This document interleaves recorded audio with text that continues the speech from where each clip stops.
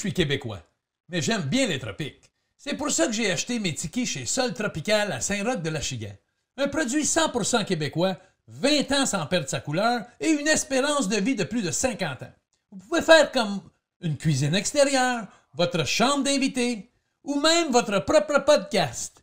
Ici Jacques Rougeau. Faites comme moi et amenez le soleil chez vous avec Sol Tropical. La vie est tellement plus belle. Eh, bonjour, bonjour tout le monde. Une autre semaine, mais là, je sais plus quoi dire. C'est rendu que c'est tellement le fun, mes podcasts. JF, salut, ça va bien? Ça va bien, toi? Ça va bien, merci. Notre invité cette semaine, t'as aucune idée comment tu m'as touché dans la vie. T'as aucune voyons idée. T'as aucune idée. Mesdames Ok. et messieurs, Luc de la Rochelière, bienvenue, Luc. Ben, merci. Merci de l'invitation. Je suis très heureux d'être là. C'est vraiment, vraiment formidable. Écoute, Luc, euh, euh, c'est tellement drôle parce que ton nom me tracassait, puis me passait dans la tête. Puis là, je me disais, je vais l'inviter pour le podcast. Mais la vérité, il faut que je te dise la vérité, Oui. Tu vois, tout est, est livre ouvert, ça. OK. Je savais pas pourquoi je t'invitais. J'avais pas la raison spécifique. Elle était dans mon âme, dans mon cœur, mais je la trouvais pas. Puis ce matin, juste avant que tu arrives, j'ai poigné mon, mon téléphone. et Je suis allé sur YouTube. J'ai pleuré, là. J'ai pleuré quand j'ai entendu la chanson Si fragile. Ouais. J'ai pleuré, ça m'a ramené en enfance. Ça m'a ramené dans ma vie de lutteur, ma vie de. Je me suis battu toute ma vie. Euh, euh, un parcours là, qui est pas normal, pas ordinaire, Luc, mais j'ai eu des épreuves, puis ça n'a pas été facile. La lutte était pas trop bien vue par les journalistes. tu sais. C'était un sport Mhm. qui était arrangé, fait que c'était pas un sport. Puis on s'est- je me suis battu toute ma vie. Pour moi, j'ai- je suis venu souvent avec des. euh, euh, pas des dépressions, mais je dois avoir passé chaque bord du fossé, là, tu sais, d'une Ouais. dépression. Ça a été dur, la vie. Puis je me suis identifié avec cette chanson-là. La vie est si fragile. Puis là, quand j'ai écouté ça tout à l'heure, je suis venu le moton dans la gorge, puis j'ai- pleuré. J'avais une âme qui a Ben, je suis puis- désolé. mais Seigneur, sois pas surpris, Luc, tantôt, si je te demande juste d'en chanter un petit bout pour moi. Oh mon Dieu, j'ai pas amené ma guitare, mais je Pas faire un grave, petit bout ouais. à capella. Puis, OK. Juste un petit bout, parce que ça, c'est quelque chose qui m'a touché, là, t'as pas idée. En tout cas, je suis tellement, tellement content. Puis quand j'ai vu la. Quand j'ai écouté la chanson, après ça, t'arrivais dans. JF qui m'a texté, il dit on arrive dans 10 minutes.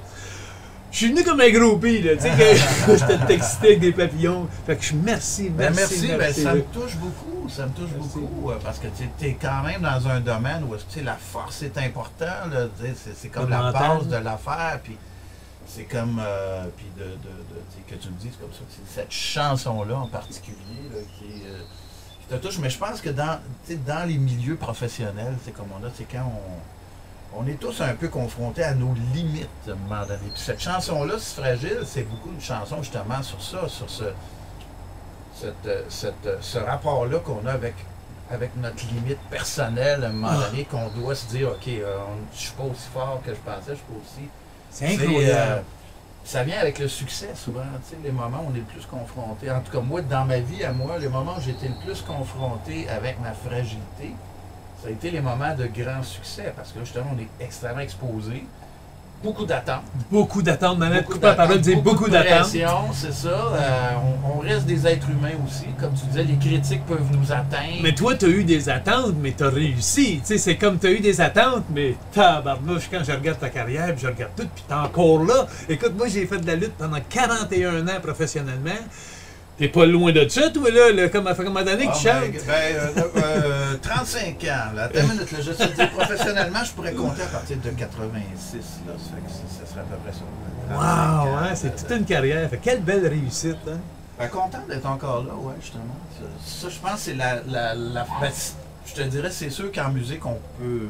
On peut continuer ça. On doit juste avoir les Rolling Stones pour voir qu'on peut continuer ça. Plus Oui. longtemps que la lutte, là, on s'entend. Mais, mais le. le, le, euh, mais content d'être encore là, oui. Puis ça n'a pas été un. je Comme tu disais, ça n'a pas été un long fleuve tranquille, mon affaire. Il y a eu de, de- Des hauts puis des bas. Des succès, des bas. Mais des- les artistes, c'est pas mal tout comme ça, parce qu'à un moment donné, ça débloque, Ouais. puis à un moment donné, ça. ça, ça, ça, que je cherchais, donc ça.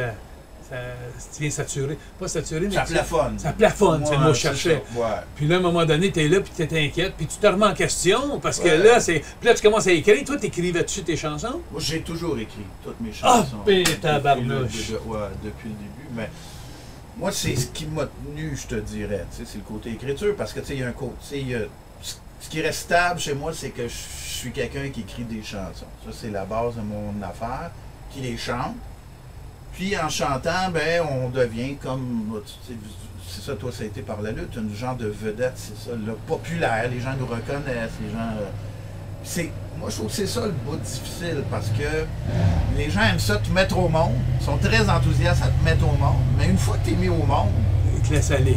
ben. Oui, ils tu disent, pas, me semble que, ouais, me semble que ça va un peu trop bien son affaire à lui. Ah. Fait que là, ils aiment ça te, te remettre en terre aussi, tu sais. Oh, Seigneur. Et c'est, pour ça que je, que disais, la chose dont je suis le plus fier, c'est d'être encore là aujourd'hui, parce qu'il y a des gens qui m'ont mis au monde, il y a des gens qui m'ont enterré aussi, puis, euh, puis moi, je suis Fait que c'est pas rien que dans lutte que ça arrive. Je suis pas encore mort, je suis pas encore mort. Hey, c'est, pas que dans la lutte, ça allait s'appeler parce qu'à un moment donné, le Journal de Montréal, il avait écrit l'intouchable. Pas l'intouchable, comment il avait dit ça, non? En tout cas, comme euh, en voulant dire, il est fatiguant, il lâche pas. Là- L'intuable ou quelque chose de même. puis, euh, puis l'autre chose que je voulais dire aussi, c'est que tu dois. Je me poser la question parce que c'est incroyable comment tu dois te sentir bien quand tu écris une chanson, puis, puis ça sort, puis ça sort de ton cœur, puis ton âme, mais est-ce que c'est toi qui la chante, mais as-tu déjà écrit pour quelqu'un d'autre? Je l'ai fait souvent.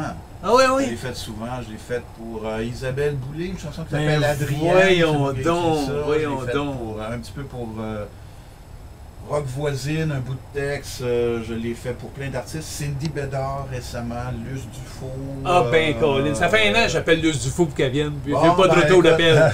si t'as connais, tu as envoyé un message. Ben écoute, ben, t'as reçu Marie, euh, Marie Marie-Hélène, tu Thibert dois bien la connaître, Ben oui, elle m'a dit, euh, vas-y, fais-le, fais-le. là. Oh, Tu- un tu- tu film. ça. Mais le pire, savez-vous qu'est-ce qui est le fun là-dedans? Je veux dire que pour moi, ce qui est le plus gratifiant, c'est que vous le faites pas pour, vous, pour venir populaire, vous le faites pour m'aider.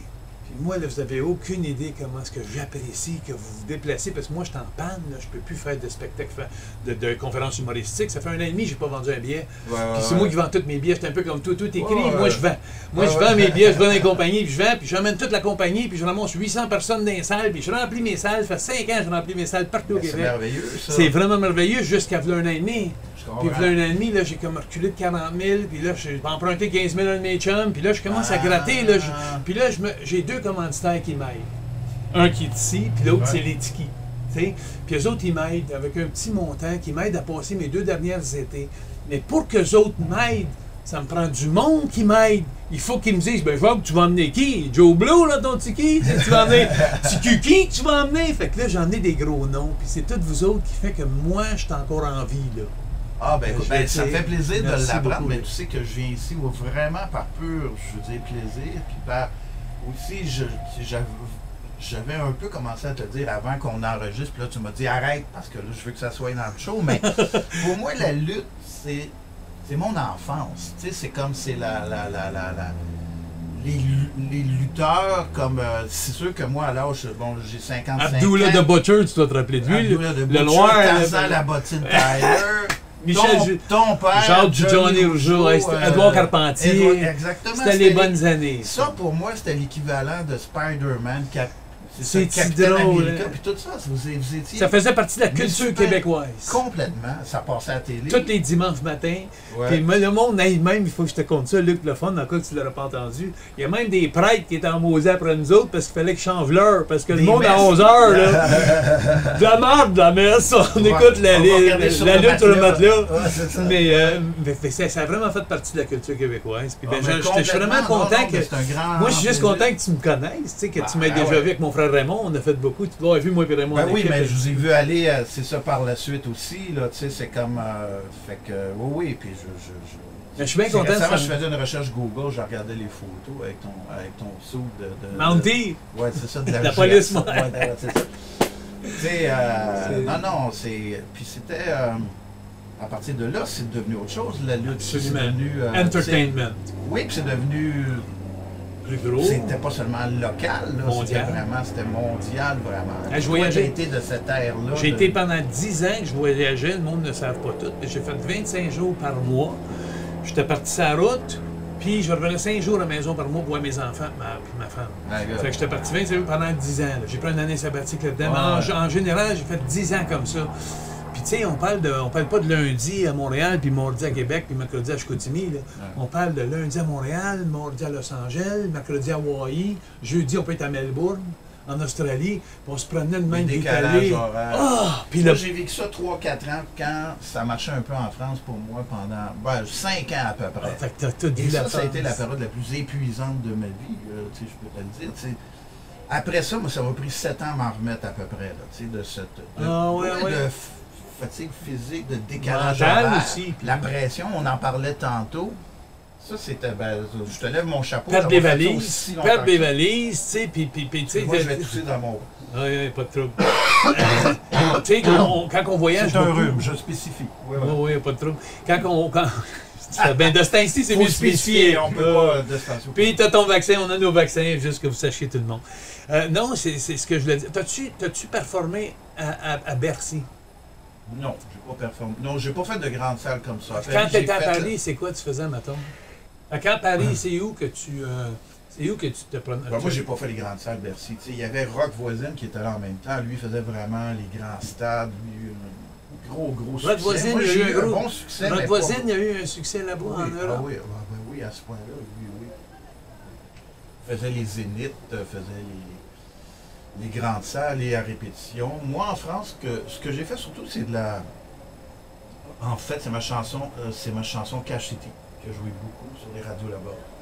Donc, beaucoup d'émissions de radio, beaucoup d'émissions de télé, ça j'en ai fait beaucoup. Ah, ouais, Des ouais. magazines, des journaux. Canal Plus. Tout ça, ça a fait Canal Exactement. Plus. Ben oui. Puis. Euh... Tu faisais aussi des piano bars, des affaires comme ça là-bas aussi Non, non, non. euh, J'ai fait spectacle, j'ai joué au Casino de Paris Wow. en, première partie de. J'ai joué à la Cigale en artiste principal. Ça, c'est dans. Cigale, c'est le quartier Pigalle, le J'ai déjà entendu parler, mais j'ai. C'est cigales. salles, ça. Mais c'était le fun, ça devait être Ouais. le fun. J'ai fait une tournée, j'ai fait une tournée dans, sur des scènes extérieures qui s'appelait le Ricard Live. On avait fait à peu près 25 villes comme ça. Euh, Puis t'as fait l'avant-première.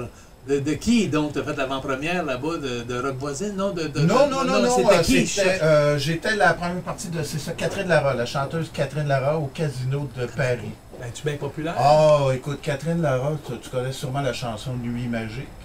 Peut-être. Nuit magique. Da, da, da, di, da, c'est que c'était un gros succès à l'époque. Euh, oui, ça a marché. Excuse euh, ma culture québécoise, y a hein, pas- je te juge. Ben, c'est pas grave parce que ça, c'est français. ça fait que c'est pas. Ouais, je suis sauvé. chanteuse française. good. T'es chanteuse française. Mais je connais pas beaucoup ma culture québécoise parce que j'étais au parti aux États-Unis. Puis même quand, avant que mon- je faisais mon séjour de 10 ans, quand j'ai commencé à lutter, mon- à, à 17 ans, je suis parti à Calgary. À 18 ans, j'étais au Mexique. Mais c'était tous des petits territoires. T'as commencé de bonne heure. Toi, t'as commencé en sonnais 17. 77, t'avais quel âge? 17 ans. Je suis- 17 je suis ans. né en ok. 1960. OK. Toi, t'as quel âge? là? Euh, ben, je pense qu'on a. euh, moi, j'ai 55. Je viens d'avoir Ok. 55. Ok, Faut que tu me vous vois pendant l'émission. Ben oui, je te dois le respect. Je te dois le respect. C'est sûr. Bon, et l'autre question que je dois te poser. Ouais. Qu'est-ce- je- je- vite comme ça. Quand tu t'en vas en Europe et puis tu joues pour la crowd qui est européenne, est-ce que tu changes ton timbre de voix, ton parler? Tu sais, comme ton français devient-tu un petit peu plus français? Moi, pas ou- tellement. Euh, je les faisais rigoler beaucoup en entrevue. Les Français ils trouvaient ça très drôle parce que je changeais pas grand-chose, honnêtement. Fait qu'ils acceptaient ton côté mon, euh, québécois, Ouais, tu sais, moi, j'en changeais un peu. Tu sais, ce que je changeais, c'était plus les, les expressions. J'ai jamais changé mon accent, mais certaines expressions que je savais que ça, ils comprennent pas. Là, tu sais, euh, mais, euh, et quand je chante, euh, sans rien changer, les Français croyaient que j'étais français. Pour vrai? En plus, Parce que moi, je trouve- de la Rochelière. Parce que moi, je trouve, quand tu parles, t'as comme un petit accent comme mon frère Raymond, un peu. Ben, Ah mon frère. Raymond, il parlait comme moi quand il faisait les voice-overs au Québec, puis quand il faisait les voice-overs en Europe. Alors là, là, c'est une, euh, une culbute, là. euh, Il sortait des... Ah des- bon, ok. Là, j'étais là, puis je voyais... J'étais OK, il y, a, il y a deux langues. Mais, mais, mais, mais ça, je veux savoir. Ah, ben, le- toi, euh, en tout cas, moi, seule chose que je peux te dire, c'est que je les faisais rigoler beaucoup parce que, tu sais, je parlais un peu, puis c'est Oh putain, l'accent! Tu sais, c'était comme Oui, vraiment. oui, euh, oui, oui, oui. Et puis moi, je m'en rappelle plus. grand-chose. J'étais allé souvent, tu sais, des tournées, puis je me rappelle plus de leurs expressions, mais je- quand ils en disaient, j'étais là, je dis, quoi? Tu sais, des, des fois, il disait des affaires que je comprenais pas pantoute, là. Puis pourtant, c'était bien français. Parle-moi donc un peu de ta tournée, tes disques. Ça s'est vendu en Europe aussi? T'as-tu vendu des disques en Ça s'est vendu en Europe. Ce qui s'est vendu en Europe, c'est mon deuxième album, l'album Sauver mon âme, mais c'est surtout à l'Europe à l'époque, ils vendaient encore des la, la formule single, c'est ça, 45 tours. Oui. C'est beaucoup la chanson Cash City. Ça, je l'ai vendu à peu près 250 000, à peu près des la chanson, juste la chanson. 45 000! 250 000. 250 000! 45 tours de la chanson, puis l'album à peu près 80 000 là-bas, puis ici à peu près 150 000. C'était quand même ici que ça marchait le plus pour moi, mais dans, on en vendait des disques à l'époque, la musique n'était pas aussi accessible. euh, Fait le par 45 Internet, tours, il se vendait bien encore dans ce Le temps-là. 45 tours se vendait bien. Fait que ça existait encore le 33 tours, puis des affaires comme ça. dans Ben, le temps. 33 tours, ça c'est le long jeu. Ouais, ouais, ouais. Mais le vinyle euh, venait de mourir. Tu sais, quand j'ai ça. En fait, tu regardes ici, j'ai justement, je peux te le montrer. J'ai, Ah, oui, moi, oui, oui, dans ma carrière, j'ai eu le temps de sortir un vinyle qui était celui-là. Ça veut dire quoi un vinyle? Amer America, c'est le vinyle. C'est, vraiment l'album. C'est un 33 le- tours, C'est c'est le ça, un format vinyle? 33 tours en vinyle. C'est ça. Donc, Wow, ça, je? Ben oui, ça, c'est un original de 1988, mon premier album. Et ça, c'est une réédition qu'on a fait récemment parce qu'on a réédité certains albums. Tu sais euh, que les meilleures affaires dans la vie, moi. Je te la donne d'ailleurs. Arrête! Ben oui, ben oui. Ben, ça, Colin, merci beaucoup. Elle, je la garde parce que c'est un original de l'époque, je l'ai pas beaucoup. Le seul problème, je vais avoir, c'est qu'il faut que je trouve une machine à 33 tours. Oh, c'est pas grave, tu peux l'encadrer, mettre ça. Ok, je vais en mettre dans mes Ma- souvenirs. mettre- mettre ça dans une de tes affaires ici. Mais, euh, wow, c'est quelque chose pareil, hein? Bravo. Puis, hein. euh, mais l'autre album après, l'album Sauver mon âme, sur lequel il y avait la chanson Cash City, il y avait la chanson Si fragile, était là-dessus aussi.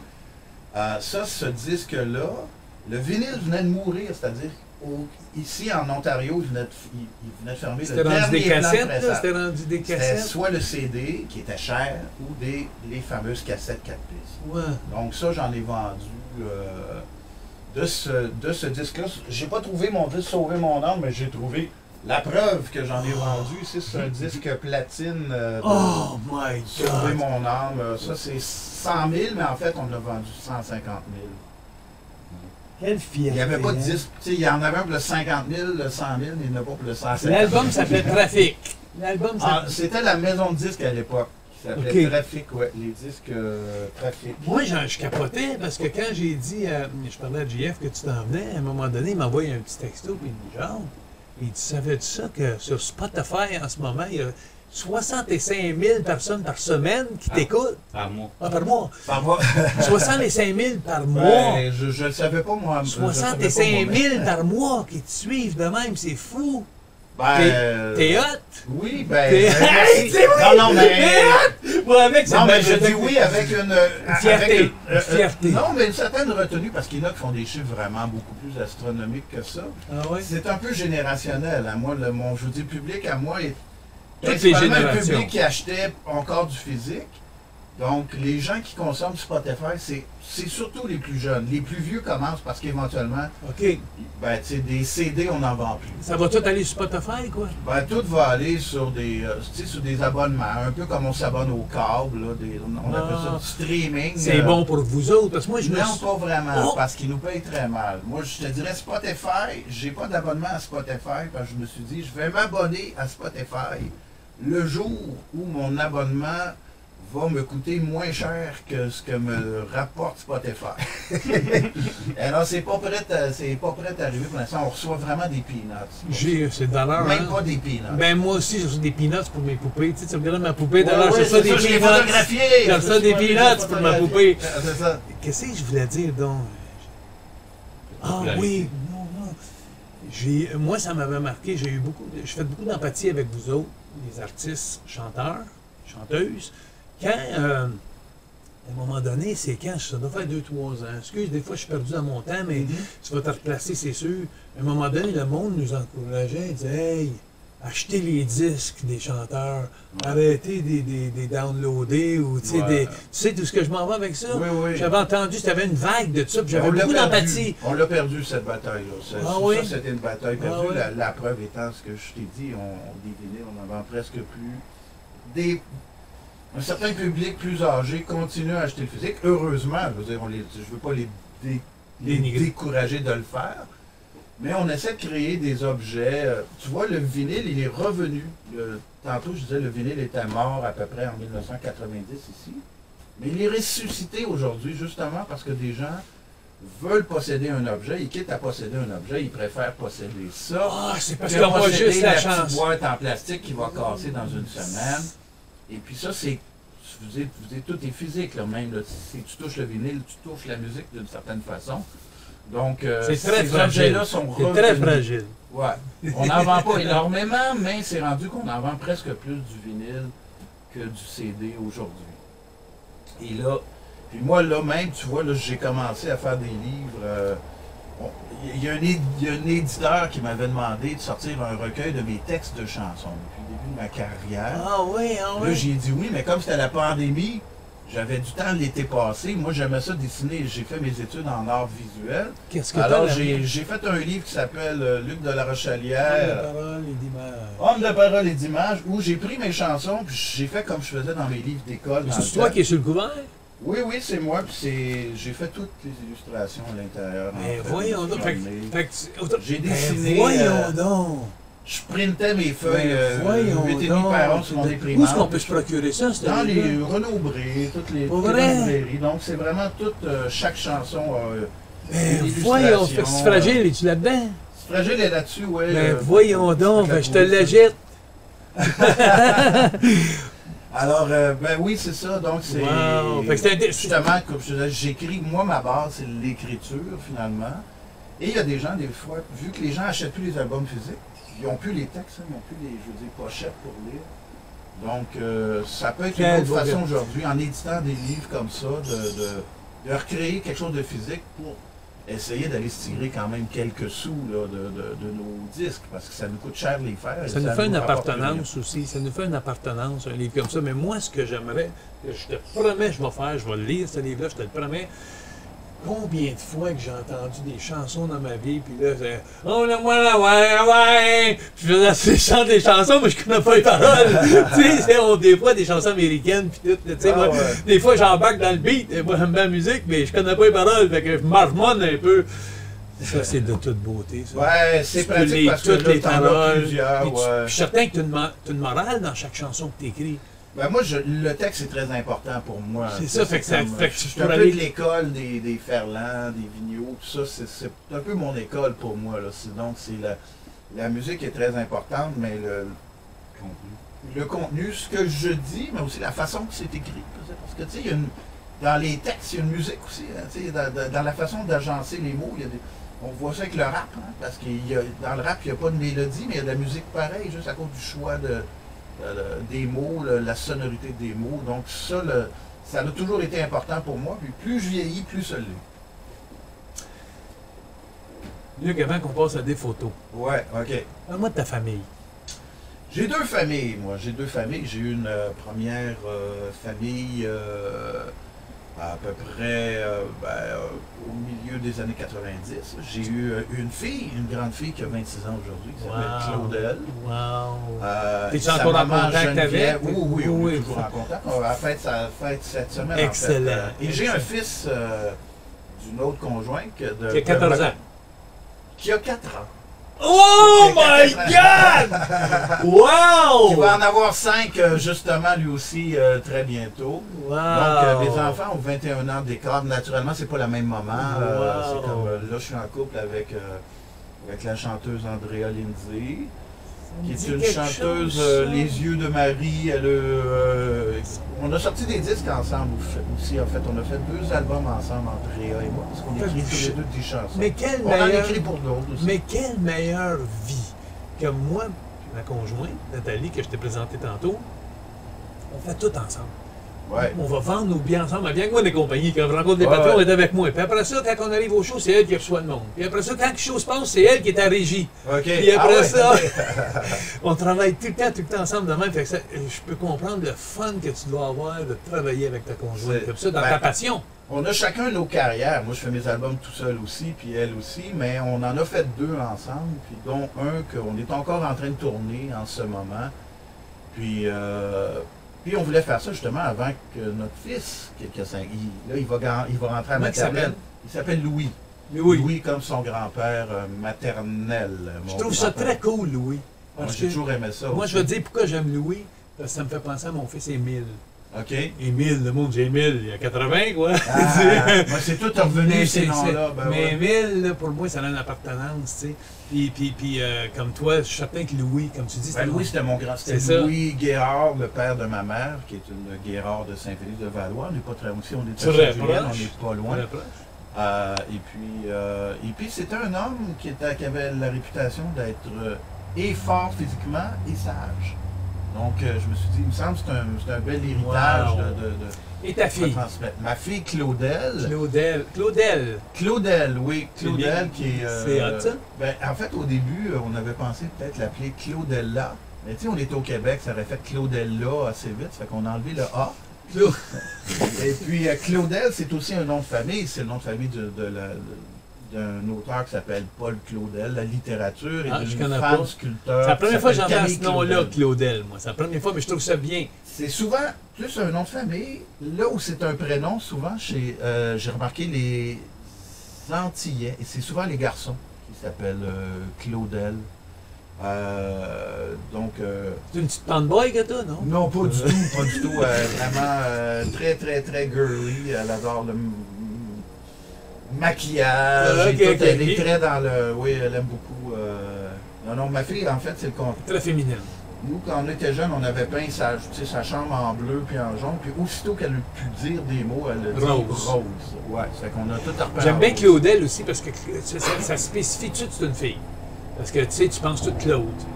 Claude, Claudel. Claudel. Mais comme je te dis, chez les Antillais, Claudel est un prénom surtout Ben oui, de c'est j'ai resté surpris quand tu m'as dit ça. Parce Ben, que comme Michel, comme euh, tu sais, c'est Michel, Claudel, c'est Messette, vrai, ouais, voilà. c'est vrai, c'est vrai, c'est vrai.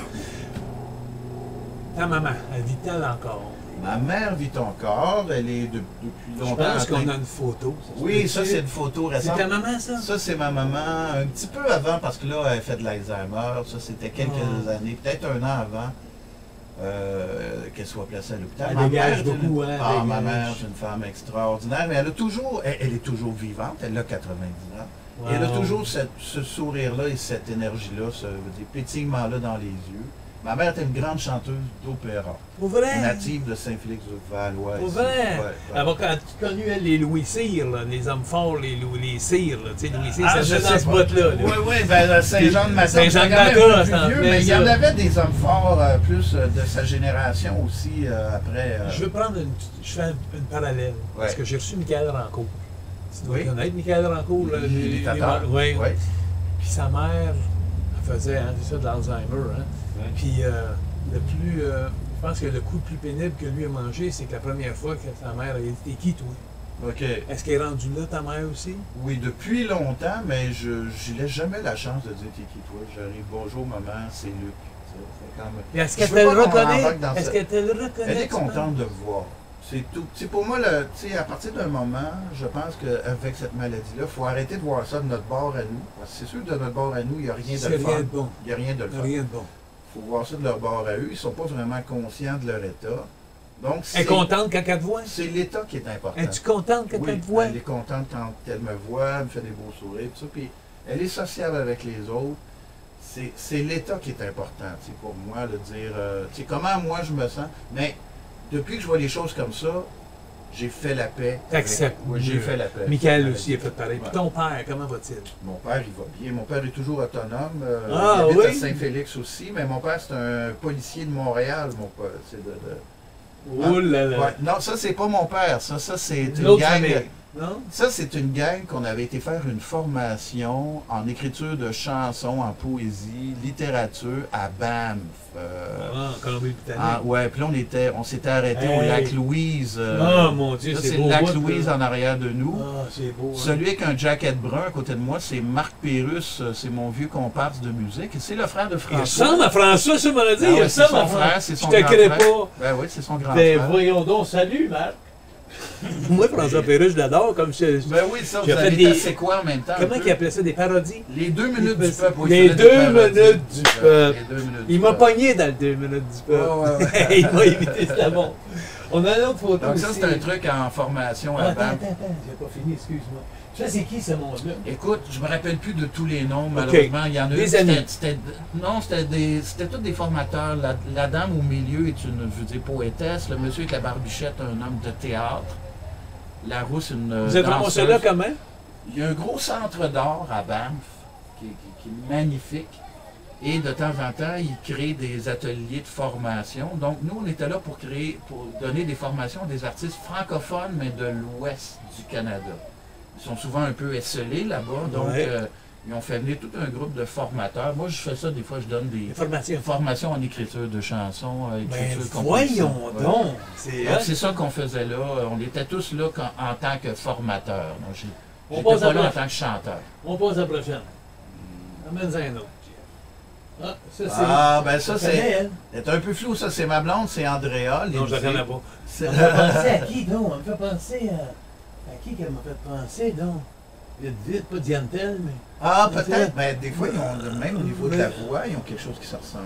Mais en tout cas, ouais, joli, hein? André, ah ben oui. Hey, tu dois avoir de c'est la mère de Tu Louis. dois avoir de l'argent? C'est la maman de Louis. Même pas. C'est au moins. C'est au moins. C'est dans ton cœur, ça. Mais à deux. euh, Tu fais ça pas, je euh, fais ça, je te fais la à tous mes invités. hein. Quand il y a tu dois avoir eu de l'argent, toi? Euh, non, mais ça, c'est euh, un mythe, très joli. Donc ça, c'est, ben là, vous voyez, on, est, euh, on, s'était rend- on était à New York, puis on s'était rendu la nuit, parce qu'on cherchait le fameux Imagine de John Lennon, là, Ah, l'espèce de cercle. oui, oui. euh, C'est-tu pas loin de euh, Central Park, ça? ou- C'est dans Central Park. Et ça, là, on était là la nuit, c'était pas très sécuritaire, mais on s'était rendu, on s'était étendu dessus. J'avais Ben, j'avais pris un selfie donc. comme ça. euh, Oui, oui, c'est bien beau. il faisait noir comme dans le cul d'un ours, comme on dit, mais le flash a suffi à aller chercher le. Ah. On l'a trouvé, mais c'était la nuit. On en amène un autre, Gia. Amène un autre photo. Isabelle Boulay, ce nom? Isabelle Boulay, j'ai écrit une chanson, je disais Eh oui, tantôt, euh, Adrienne, euh, on Moi, se je connaît tripe depuis sur elle. là. Moi, moi, Oui. je, moi, là, écoute, faut que je te dise, je tripe sur elle dans le sens que depuis plusieurs années, je dirais 4-5 ans, j'écoute toutes les The Voice.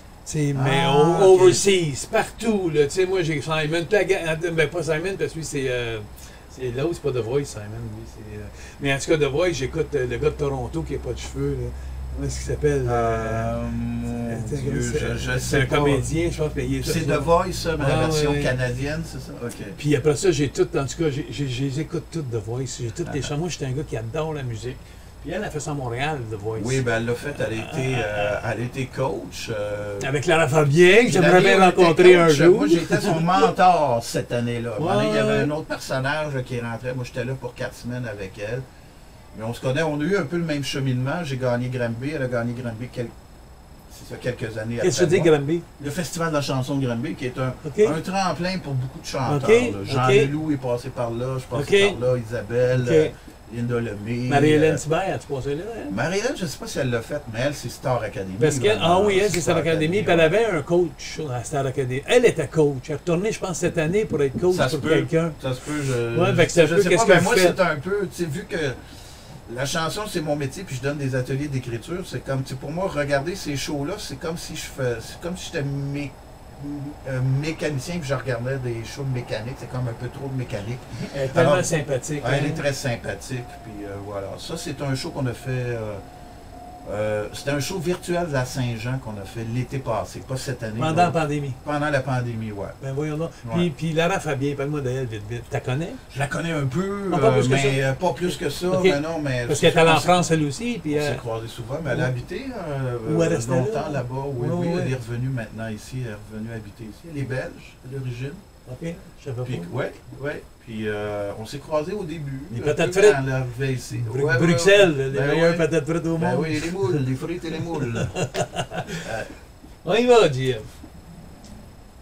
Damien Robitaille. Euh. Damien, C'était le même show de télé. euh, Damien Robitaille, il se fait beaucoup connaître en ce moment parce qu'il a fait, pendant la pandémie, il a fait plein de reprises de chansons euh, chez eux à Longueuil, où est-ce qu'il faisait tout lui-même en se filmant, puis des fois en dédoublant les images.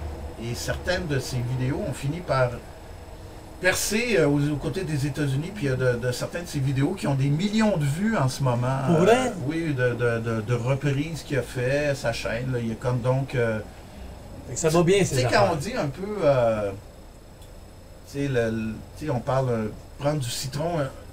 Un, citron, c'est acide, mais on peut faire de la limonade aussi avec. Donc, dans sa vie, à lui, ça a été un moment difficile.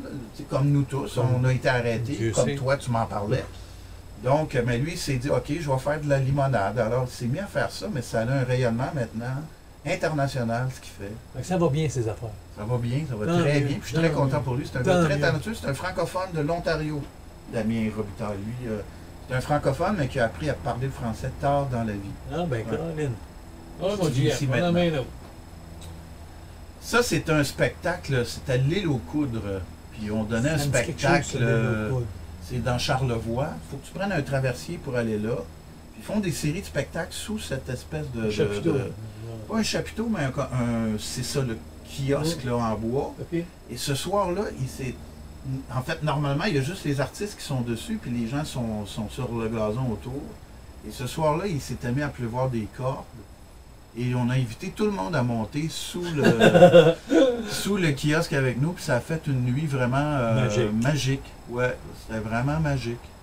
Donc, c'est l'île aux vous- J'invite tout le monde à aller voir ça, l'île aux Coudres. Ah, c'est Euh, beau. oui, oui, c'est une belle place. Ben, Charlevoix, déjà, c'est magnifique. C'est connais- pas tout le monde qui font l'effort de prendre le traversier et aller à l'île. Ah Non, je connais pas beaucoup Charlevoix, moi. Puis, euh, Baie-Saint-Paul, Qui qui m'a dit? la Baie-Saint-Paul, oui, j'ai rencontré. C'est qui j'ai rencontré sur la plage à Baie-Saint-Paul, avec mon frère Raymond? Euh, Diane Tell. Oui, Diane Tell, elle marchait sur la plage. À un moment donné, moi et on allait lutter. On luttait à Baie-Saint-Paul, on tournée. ça, à quelle année, ça? Ben ça, ça devait être en 83 peut-être, Ok, dans, ces années-là. 83, puis je suis parti de New York 85. Fait 84 peut-être, dans ces Ok. 84. Puis elle marchait sur la plage. Puis euh, je ne sais pas comment c'est arrivé, en tout cas qui qui a reconnu qui, mais j'ai demandé de prendre une photo avec Diane C'était Ouais, quoi sa chanson, ouais? Ben, Capitaine, si j'étais moi, capitaine. ça, moi, si j'étais un homme, en fait, oui, je serais capitaine. Moi, si j'étais un homme, je Ah, serais. J'avais adoré cette Ouais, chanson-là ouais, une grande chanson. Elle en a écrit plusieurs grandes chansons. Elle, elle vit en- elle marche encore, hein, je pense, à Oui, oui, elle fonctionne encore. Elle habite, en, elle habite en Suisse maintenant la majorité du temps. Ouais. Puis elle vient faire son tour ici. C'est ça, vous autres, les musiciens, vous avez toutes sortes de maisons partout. Ah, ben, ben, pas moi. J'en ai juste une, euh, j'en ai juste une dans Rosemont, moi. Ça, c'est moi, en, en arrière, ça a l'air sorti d'un film de science-fiction. Ça fait un peu Cosmos 1999, là, mais c'est l'aéroport de Iqaluit, euh, donc euh, terre de Boffin. C'est, ce métier-là nous amène des fois à aller chanter dans des C'est raccoins. où, c'est coup de jouette ou dans un boulot? C'est au-dessus, c'est au-dessus. Je suis allé c'est faire vraiment des cours de conférences c'est à coup de Boffin. Ça, quand euh, j'ai vu ça, j'ai dit, c'est un aéroport, il n'y a pas personne qui va s'envoyer dans l'aéroport. Ah. Dans le nord, les aéroports sont un petit peu plus petits. Je veux dire, tout est un peu surélevé là-bas parce que l'hiver, la neige monte tellement haut, tout est sur des Ah, poteaux. Les c'est maisons sont sur des, sont sur des, des poteaux. euh, ouais. Ah, il faut que je te compte quelque chose. Vite, vite, vite, je te compte quelque chose. Je m'en vais donner une conférence à coup de joie. Puis il n'y a pas de végétation là-bas, c'est tout des roches. Ouais. Euh, a pas de. puis C'est pareil, là. Ouais, puis là, je m'en vais, puis le, le- le- le- gars m'emmène, je donne ma conférence, puis euh, le monde se couche de bonheur là-bas à Côte-Jouac, là. Euh, à 7 heures, quand il commence à faire noir, la ville, comme le, le magasin général est fermé, tout est fermé. Puis moi, je restais à un hôtel sur le bord de- de- de- du lac. Puis il fallait que, que- quand je finis ma soirée, moi, je m'en vais, puis il fallait que je marche jusqu'à mon hôtel, qui est à peu près un quart de mille, c'était pas même bien loin. Sauf dans la journée même, il y a quelqu'un qui avait dit qu'il avait eu une attaque, un chien par un ours. OK. Tu sais, puis moi, c'est comme, tu sais, 2 plus 2, ça fait ours 4. blanc. J'ai aucune idée. J'ai pas demandé la couleur. J'ai juste demandé comment longues étaient les griffes. Mais, mais l'autre histoire courte, c'est que moi, après le show, il fallait que je marche pendant un quart de mille. Il était à peu près à 8-9 heures le soir. Il n'y a plus de végétation, il n'y a plus personne, puis je m'en vais, puis j'entends chaque pas. Sur le, parce que c'est froid là-bas, là, puis ça. Puis j'essayais d'écouter. Puis je regardais si vous saviez comment elle avait eu peur, parce qu'elle avait entendu l'histoire de l'ours dans le jour. En tout cas, je voulais juste te ramener ça, parce qu'il Ah ouais, fallait ouais. aller à coup de pour vivre ça, là. À Iqaluit, on voyait des peaux d'ours polaires en train de sécher. Là, sais, Ah euh, oui. euh, Hey Luc, parle-moi donc un peu. C'est toi Ouais. ça?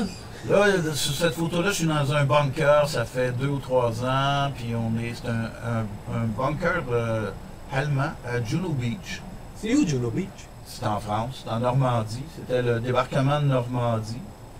Euh, Il y a bien des plages là-bas qui ont des noms américains, parce que c'était surtout Hey, ça a des une grosse, américains. grosse guerre, la Normandie. hein. Quand on a débarqué en Normandie, c'était. Ouais, c'était la, la fin, c'est ce qui a marqué un peu la fin de la Deuxième Guerre mondiale. hein. C'est les- c'est Moi, j'ai pas beaucoup de mon histoire, alliées. moins fort Oui, que toi. Ah, bon, bon, je, je suis pas. Mais hein, je sais que Normandie, euh, débarquer à Normandie, j'avais entendu parler de ça. Ils ont même fait des films de ça. Hein? Oui, il y en a eu plein là, récemment, là, des très bons films d'ailleurs qui ont été faits euh, sur le débarquement. Puis, euh, puis voilà, j'ai eu la chance d'aller chanter pour une cérémonie qui marquait l'anniversaire du débarquement.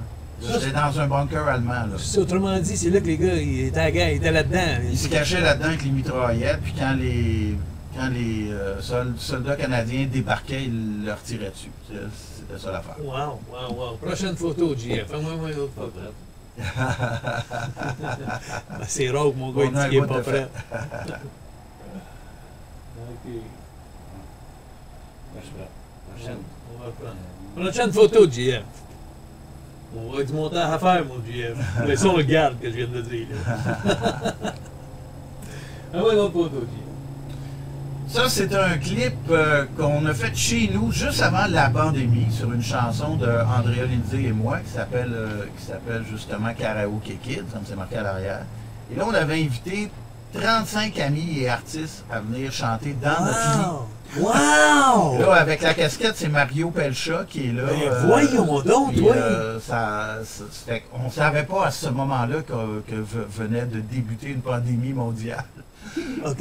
Mais on a, eu, on a eu le temps de le faire, puis il va y avoir peut-être quelques Ah, photos. ben qui non, une couple de photos euh, de, de- des de personnes. ce genre-là avec Luce, Luce Dufault. Luce Dufault qu'on appelle, ça fait à peu près, là, je dirais, oh, je dirais bien un an. Là, Ah! son agente va finir par me rappeler. Ah, ben, là, son mais- agente, c'est un, Un rap- c'est son chum. Fait que, ça fait que il- on verra bien. Ben oui, ben, j'ai Hey, dirais à quel point c'est. J'aimerais tellement la voir. dirais Ma femme, ma femme est en amour avec Ah oui, ben c'est, un amour là-dessus L'autre personne à côté, c'est C'est Andrea, là. Oui. C'est Andrea Lindsay. On a fait ça. C'est encore Andrea Lindsay, moi. Puis au milieu, c'est Cindy Bedard, euh, une jeune chanteuse country là, que vais beaucoup parler d'elle en ce moment. OK, OK, OK. On lui a écrit une chanson. Ici, c'est notre ami Kevin Parent à Ben, l'arrière. voyons donc.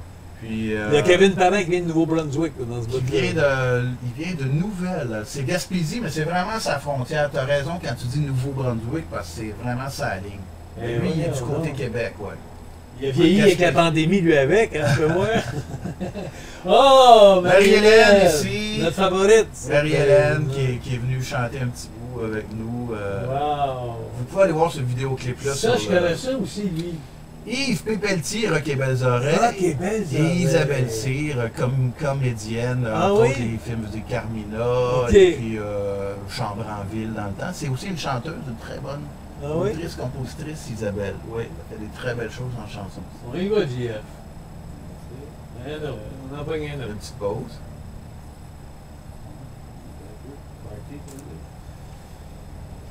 Ah, ça, c'est une vieille photo. On me voit tout jeune ici, je dois avoir ça. C'était euh, à peu près à l'époque où j'ai écrit. Tu parlais de fragile, là. C'était à l'époque où j'ai écrit ça, là, 20 23 ans peut-être? Mon ami François Pérus à côté de moi. Ben voyons donc. Puis, euh, Les deux minutes du peuple. Les deux minutes, avant les deux minutes, c'était mon bassiste à l'époque. François. Il jouait la basse avec moi. Ben il a joué sur, voyons donc. il a joué sur, euh, sur mes premiers albums. Là. Il a fait Fait que des c'est pour ça que vous vous êtes croisés à C'est quoi? Ben, en fait, c'est quoi lui est venu un peu à cause de l'album, beaucoup à cause de l'album Sauver mon âme. On lui avait demandé de faire une petite pub pour annoncer la sortie du single Sauver mon âme, la chanson Sauver Oui. mon âme. Et euh, euh, mon gérant d'époque, euh, Pierre Dumont, et moi, on lui avait demandé de faire ça. Et il l'a fait. Et c'est quoi? a tellement aimé l'annonce pour annoncer la sortie du single qu'il l'a engagé. Et moi, j'ai perdu mon bassiste et lui. euh, Et moi, j'ai trouvé avec mon lui, il y en a plusieurs maisons. Lui, il y en a dans- Moi, j'ai trouvé mon, mon coéquipier, mon collègue de travail, parce que je faisais Il est trop de Ah, bonheur il est le matin, Oui. en remplacement de Mike Bossy. Ah. Puis le soir, je faisais un remplacement, j'étais avec Yves Corbeil puis François Pérusse. Je faisais le retour à la maison. OK, OK. Fait que je faisais les deux. OK, J'ai fait ça. les- Ah oui, je connais bien François Ben Pérusse, oui. je l'adore. je Ben oui. Ben, je travaille encore avec son frère Marc euh, pour la musique. Ça, c'est un atelier d'écriture à la gauche qu'on voit, c'est Mouf. Euh, Mouf, la compagne de Charlebois. C'est elle qui a écrit je, euh, Euh, lui, ça me dit quelque chose. ben, c'est Gilles Vigneault. Ben voyons donc, Gilles le Vigneault. fameux Gilles Vigneault. Le barbu à côté, c'est moi, Marotte Tremblay, Alexandre Belliard, Catherine Durand, Philippe Braque, Philippe B. et Stéphanie Boulay à la droite avec le- une des sœurs Boulay avec le, avec le bonnet Ça, rouge. avec Isabelle? Ouais. Stéphane Lafleur avec la chemise à carreaux. euh, lui ici, ouais, qui, qui, euh, qui a un groupe qui s'appelle Avec pas de. Pas de. Pas de casque. casque. Podcast. Avec pas de casque. Ah, je Qui pensais aussi- podcast. Ouais, c'est ça. Avec pas de casque. Exactement. Elle, c'est qui? C'est Catherine Durand.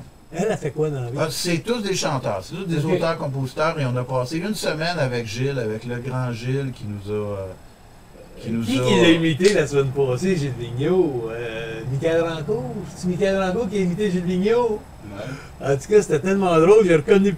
Je l'ai reconnu par l'imitation, pas par son visage, par sa Ah. face, je ne connaissais pas tant que ça, mais sa voix, je la connaissais. Ok, ok. Puis là, il parlait, en tout cas, avec ses mains, là, puis tout, il l'imitait au bout, c'était drôle. Fait que là, là, je vois la face, puis quand je vois la face, ça m'allume, mais je sais pas qui. Ah, Le ben, il y a quand même Vigneault. 80, là, il avait 90 ans à ce moment-là. euh, il, il était à 91, 92 ans maintenant. Il allait bien physiquement, Ah. Gilles, euh, c'est comme. Mais tu sais, sa mère est morte à 104, 105 ans, là, quelque chose comme ça. là, pense que sa vie vieux chez les Vigneault, c'est la vitalité, la tête est toute là, je veux dire. Ah. vraiment. ah ouais.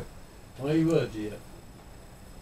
Ça, c'est le même événement. On avait écrit des chansons dans la semaine et on est en train de, avec Alexandre Belliard, Philippe Braque, euh, Catherine Durand et moi-même. On était en train de chanter des choses qu'on a écrites dans la semaine. Vas-y, mon Gilles. Toujours le même événement à table, euh, cette fois-ci, avec, euh, vous dites, toujours Mouf. Un beau euh, souvenir pour toi, je peux voir ça. Ben, écoute, ça, c'est un événement marquant parce que c'est tous des auteurs-compositeurs que, que- que j'aime et je respecte. Et on était Ah. avec, avec Mouf et avec, avec Gilles. Donc, Quand tu dis mouf, je t'excuse mon ignorance, mais mouf, c'est son euh, surnom? Ben, ben, c'est son. euh, ben oui, c'est un surnom. C'était la. Mouf était la muse de Robert Charlebois. euh, ils ont écrit des chansons. Ensemble. t'as rencontré Robert Charlebois aussi, t'as fait de la musique avec? Robert Charlebois, je l'ai, je l'ai déjà croisé, rencontré, mais je connais mieux Mouf parce qu'elle a été ma voisine à une époque et là, on a passé euh, aussi des. C'est la conjointe de Robert Charlebois. C'était euh, ouais, une ancienne conjointe. Ok. ouais. On y va, Gilles. Ça, c'était un show hommage à Jacques Brel. On voit Pierre Flynn là-dessus, Marc Hervieux, toujours Isabelle Boulay, Diane Tell en avant. Où? Ah là, Elle est juste à côté. Euh, qui je Daniel? Odera, c'est Paul, je veux dire, Piché. Ok, c'est pour ça que connais. Ah, et voilà, euh, Marie-Hélène, plein de est Marie-Hélène? Ben oui, Marie-Hélène. C'était un show que j'avais mis en scène, ça, qu'on a présenté à plus- Wow. plusieurs reprises, dont une formule symphonique. Ça s'appelait comment la, la, la pièce, euh, l'organisation? Jacques Brel, un hommage à Brel. C'était un Ah. tout simple, on chantait, euh, on chantait du Brel. C'était comme vraiment un show Ah, collectif sur Jacques Brel. Autre collectif avec mon ami euh, Michel Rivard, euh, qu'on voit de, de? Exactement. Les Mountain Daisies, un groupe country. Gilles Bélanger qui a fait la musique. Les 12 hommes rapaillés. Mara Tremblay avec la robe blanche. Elle est Et chanteuse Éric, aussi, bien connue. Goulet, oui, Mara Tremblay, oui. euh, elle a une très belle carrière solo. puis Elle a fait partie des. des c'est ce coloc aussi à l'époque. euh, Ah, j'ai entendu parler des colocs, exemple. Ouais. Il y avait des chansons, c'est pas eux autres, le, le centre d'achat? Oui, exactement. La, la rue principale. Ouais, La rue ouais, principale. Là, toujours, euh, ben, euh, François Pérus avec Marc, avec les lunettes, son frère, puis moi. Ah, c'est ok, ok, c'est bon, c'est bon. Ouais. Excellent. Ça, Mon ami ça? Denis, Denis Grondin, Denis Grondin, mon ami Denis, euh,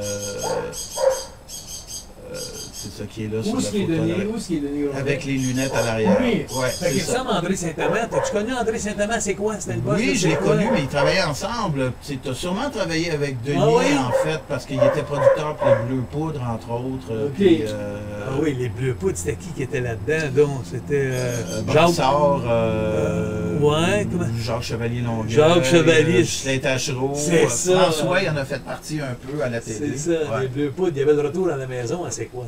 C'est ça. Ils ont travaillé sur Oui, exactement. On y va, Pierre. Avec mon ami Marc Pérus, toujours en spectacle. À l'époque où nous étions jeunes et sveltes. On est en campagne, hein, Luc? Tu vas entendre il y a sur pas le de- Il y bruit, a des ça. oiseaux, il y a des chiens. On continue. On y va. C'est magnifique comme photo. J'adore les photos. Elle, je la connais. En 2001, j'ai pris, euh, je me suis décidé de, de- de faire une série de spectacles euh, un- anonymes et annoncés à la fois dans un bar qui s'appelle le Vert Bouteille à Montréal, où je recevais des amis, artistes, euh, des gens que, de la relève, des artistes connus. Et cette fois-là, c'était une jeune de la relève euh, qui n'était pas connue du tout à l'époque, qui s'appelle Ariane Moffat, voilà, qui était venue C'est chanter. elle qui fait la voix. Oui, c'est exactement. Ariane Moffat. Je savais, je l'avais déjà vue. Oui. Elle a chanté des hits, elle aussi. Ah hein? oui, euh, c'est- une excellente autrice, Euh, compositrice. Puis, puis, puis des euh, chansons douces, puis chansons. euh, Ah, puis Groovy aussi. Ouais, d'affaires ouais. Groovy aussi. Ouais, ouais, ok, ouais. ok. Là, elle débutait, elle avait pas fait son. Ici, c'était encore voisine. Avec euh, ouvert bouteille, toujours le même bar. euh, on pouvait avoir des artistes de la relève, mais on pouvait aussi avoir oui. un rock voisine qui venait chanter, euh, qui venait chanter avec nous autres. Euh. Moi, ce qui était Rock voisine, après, il devait être fin. Hein? Oh oui, mais il tripait. Sais-tu quoi? Il était extrêmement nerveux. Il était habitué de chanter dans des arénas, mais il chantait avec un public aussi proche. euh, Ah il ouais? était très nerveux de ça, mais il était très content après. Ça me fait penser à une fois, j'avais une conférence qui était organisée par un type. Puis je suis arrivé à la conférence, puis il y avait quatre personnes. Je m'attendais à peu près à 400. Il y avait quatre. Là, j'ai regardé, j'ai attendu, là, j'ai repos- j'ai retardé mon show à peu près de 15 minutes. Puis là, je me suis aperçu que les quatre personnes, c'était les seules personnes de pas être là. Fait que là, je suis arrivé comme ça, je là, là, écoutez, là, je dis, on est quatre, là. Mais je dis, là, venez-vous incite, là. J'aimerais ça que vous asseyez direct en avant de moi, puis on va se parler, là, comme si on était à table. Puis j'ai eu une de mes meilleures conférences à vie. Ah, des fois, c'est ça que ça fait. Incroyable. Moi, j'en reviens pas, moi. Euh, Que je venu chanter d'un bar. Non, que tu chantes avec Rock Voisine. Ah! T'as- T'as chanté avec tous les artistes, tout dans le fond, hein, Luc? Ben, on a fait beaucoup, mais tu sais, souvent il y a des spectacles aussi collectifs, les gros shows de la Saint-Jean. We Are the World. We Are the World. Ben, il y a eu à un moment donné, pas un We Are the World, mais je me rappelle qu'il y avait eu un truc quand il y avait eu le. le euh, au lac Saint-Jean, au Oui. Saint-Jean. T'avais-tu y avait- chanté là-dedans? Oui, il y avait eu une chanson collective. Ah, oui, je me souviens.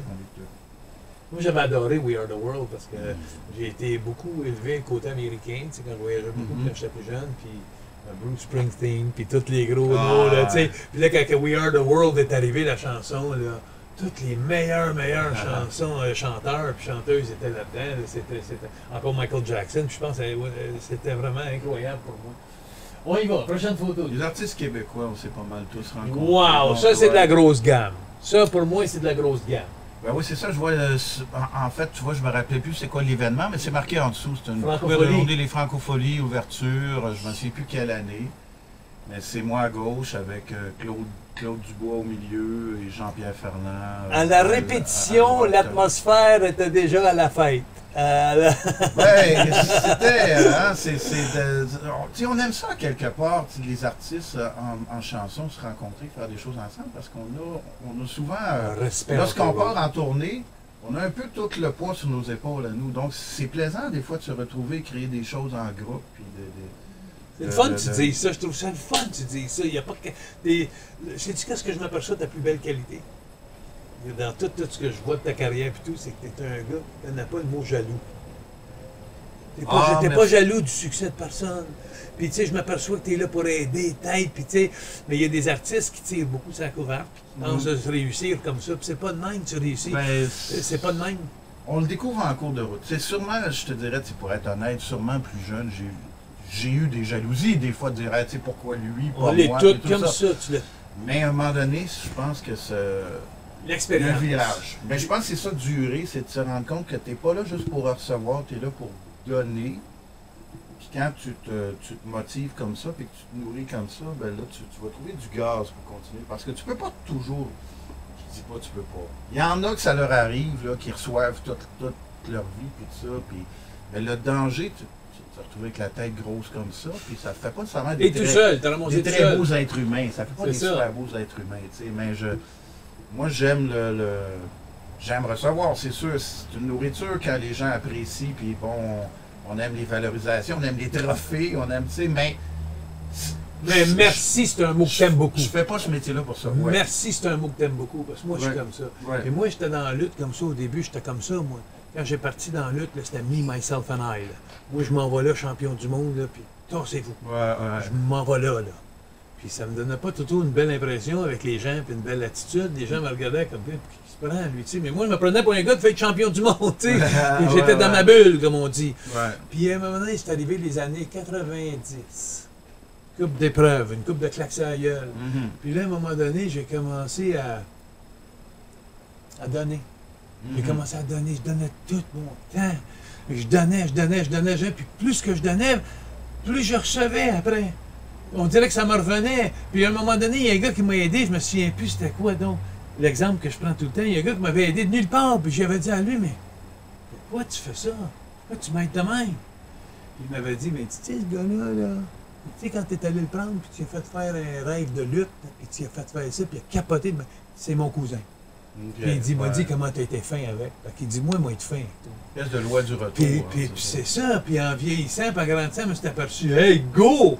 On aide tout le monde, puis ça va finir par me revenir. Ouais, ouais, non, mais Puis- ça fait du bien, effectivement. Puis en même temps, je dois te dire, j'ai découvert quelque chose à travers de toute cette expérience-là, qu'en donnant, donnant, donnant, j'aimais ça.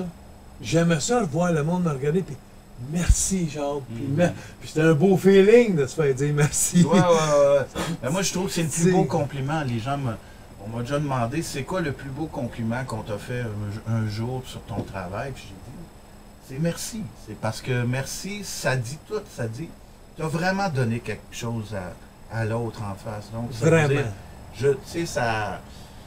Je pense que c'est un besoin humain, ce besoin de se sentir utile, même si on est dans le divertissement, même si on est dans la lutte, si on est dans la musique. C'est que, tu sais, des fois on dit ah c'est bon, c'est léger. Non, c'est pas tant que ça parce que on aide les gens à vivre aussi. Puis quand ils nous disent merci, ça veut dire qu'on a vraiment fait quelque chose. Et eux nous aident à vivre aussi. Eh ben oui, ça c'est sûr et certain. Moi, moi, quand, je me fais, quand je me fais valoriser, j'ai un gars qui m'appelle l'autre jour à, à Saint-Eustache. Il me dit à moi, il dit, euh, Monsieur Rougeau, il dit, quand la pandémie va être finie, là, j'aimerais ça, il dit, dans mon restaurant, j'aimerais ça faire un hamburger Jacques Rougeau. Il dit, peux-tu? Et c'est sûr que tu peux! Moi, je capotais. Je, c'est bon, on va commander un hamburger Jacques Rougeau. En tout cas, excuse moi Ben, c'est un peu bébé. Un des plus beaux, non, non, mais un des plus beaux hommages que j'ai eu, il y, a, un- il y a- il y a un resto-bar à Montréal qui ont créé un drink qui s'appelle un Hammer America. Ça, c'est, Hammer America, c'est le nom de ma première chanson. Wow. euh, c'est un drink avec de l'apérole, tu sais, ça goûte amer. Hammer America, mais moi, C'est valorisant. hein? moi, quand je reçois la visite chez nous, je leur fais un Hammer America, tu, tu comprends-tu? C'est comme assez fier d'avoir un drink qui porte le nom d'une de mes chansons. c'est le fun, hein, des Ben petits- ouais. Ça, c'est vraiment quelque chose qui, m'a touché, moi. en tout cas. Là, je capote. Attends, attends, je vais parler de Jean-Pierre. Il- euh, Michael est pas très loin là, d'ici, lui, il- lui non Je sais plus. pas. Ah, il est dans l'anaudière, Jean-Pierre. Pour Je me rapp- euh, Saint-Norbert. Il habite Ah à ouais, Saint-Norbert. dans le bout de Bartier. Ouais, c'est ça. Ah, ben, Ben Colin, ouais. va peut-être Ben faire un tour en Spider, mais Ah. de- essayer d'aller le chercher. Il est là depuis longtemps. ouais, Euh. J'aime bien, j'ai tout aimé Ah, ben, c'est un des plus grands. On passe à la prochaine et la dernière photo. Ah, ben là. Ça, on parle d'une époque où ce que le TV Hebdo existait encore. On imprimait ça sur du papier. Puis euh, ça, c'est la fois où j'ai fait le TV Hebdo euh, oui. avec euh, Laurent Jalbert au milieu, Wow. puis Nor- euh, Normand Brathwaite. Euh, Lui, ils c'est tous. Ça, c'est moi, ça. Comment se fait? Ah, je te mais- jamais. T'es bien- Écoute, je vais pas te dire de même, mais t'es. T'es bien beau. J'étais jeune, écoute, euh, écoute là-dessus, je dois avoir euh, 22, 20 22, 23 ans, Wow. encore une fois. C'était l'époque. C'est- Je ressemblais à ça quand j'ai écrit Tu Suffragile. as chanté avec Laurent Oui, Jalbert? Laurent Jalbert, on a souvent travaillé ensemble, on a fait des, des tournées même ensemble. euh, euh, on a deux voix qui allaient bien, dans- qui allaient, qui allaient bien ensemble. Donne-moi une caractéristique de Laurent Jalbert. Que tu sais, c'est. c'est- Ben, tu sais, ta voix télé, là, tu vois comment est-ce qu'elle est, généreuse, puis tout ça, puis... euh, C'est une personne drôle, c'est une personne c'est une qui personne est drôle. jeune de caractère, C'est ou une- c'est une personne Euh, qui... de- moi, je dirais le- le- une espèce de générosité, de nat- naturelle. Tu veux être son ami, puis euh, elle a un très grand public, euh, Laurence, puis euh, Elle est... je pense que les gens la perçoivent un peu comme Isabelle, ils se ressemblent un peu là-dessus, OK. ce côté-là. euh, Elle produit des, des spectacles, elle, là. hein, oui, elle fait encore des shows, elle fait encore. ben, on a tous été arrêtés là, dans la dernière année et demie parce que. le- Mais elle est encore active dans, dans, dans ces Oui, oui, années-ci. elle, elle continue à sortir des disques, à faire des chansons, des spectacles. euh, Elle a un public de très musique, fidèle. elle, Laurent? C'était pas country, hein? C'était folk. Mais là, ces derniers trucs, ça, ça commence à, à- Ça virait sur le country. Mais elle a fait euh, du folk rock, je dirais, à la base. On n'a pas le. Il n'y en a pas ça, Luc, j'aimerais bien dire. un peu comme Bob, Bob Dylan, tu sais, le folk rock, Ok. c'est un mélange de chansons traditionnelles, acoustiques avec un peu d'électrique. puis, euh, C'est. Luc, tu as été tellement, tellement, tellement euh, populaire. Quand je vois apparaître une affaire de même, je me dis, t'as fait de la plomberie? hey, comment t'en as eu des? C'était Félix, ça? Ça, c'est un Félix, oui. Félix. Et on voit que c'est pas Fé- Félix en l'hommage de Félix Leclerc, mais on voit que c'est pas Félix qui a servi de modèle parce qu'ici, il y a des seins ici. Puis il y a de, alors, euh, OK. mais ça s'appelle un Félix pareil. On sait pas ce qui tient au-dessus de sa tête.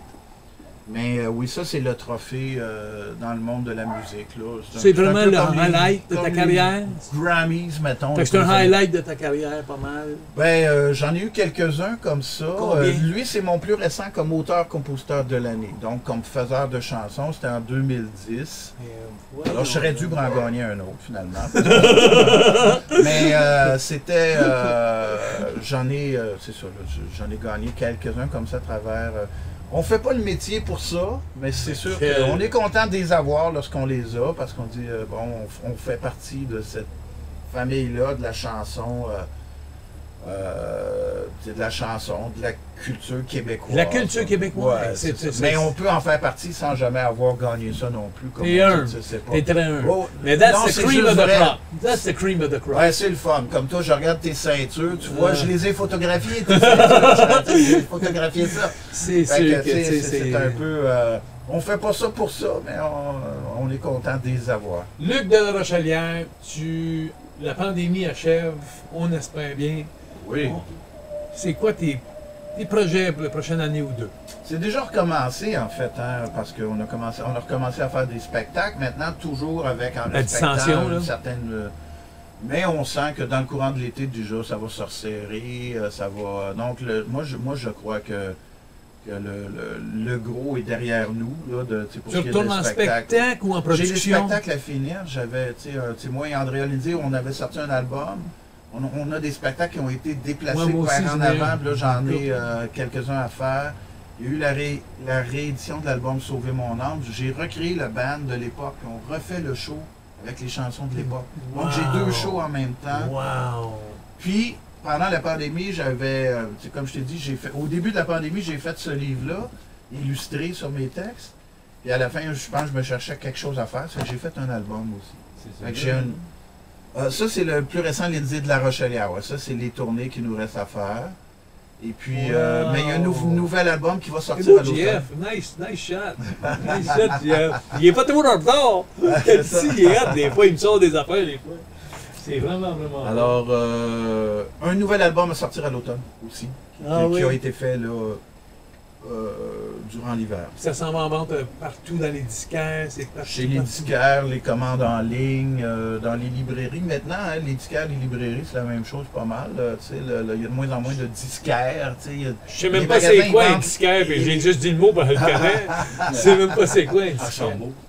Ah, Comme, euh, ouais, c'est avec des librairies. Avec Renaud Bré, ouais, Renaud Bré, Archambault, maintenant, c'est deux noms, mais c'est la même. Mais tu vas être là-dedans, c'est sûr que tu- propriétaires. C'est sûr que, que oui, c'est ça, on va sortir. on- je veux créer un objet physique qui serait un mélange de, de ça et ça, finalement. Wow. Donc, ça serait comme un, et, euh, et un format vinyle et un livre.